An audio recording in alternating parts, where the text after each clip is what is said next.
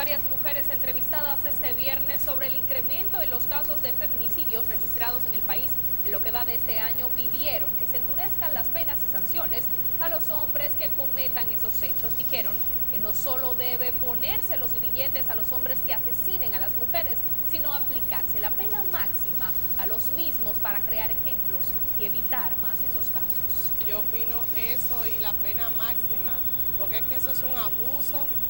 Donde quiera que tú estás, si tú te dejas de un hombre no puedes estar tranquila con el miedo de que te puedan agredir, no solamente matarte, dejar tus hijos huérfanos.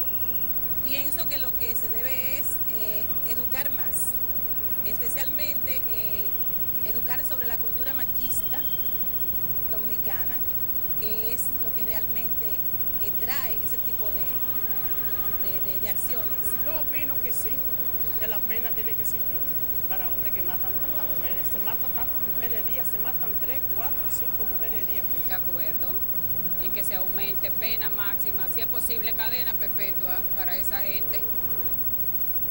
El caso más reciente de un feminicidio en el país fue el asesinato de la joven de 30 años Bartolina Isagna Félix Vargas, a quien su ex concubino Junior Familia alias Cristian dijo que la mató porque se le metió el diablo al no querer aceptar la víctima una reconciliación.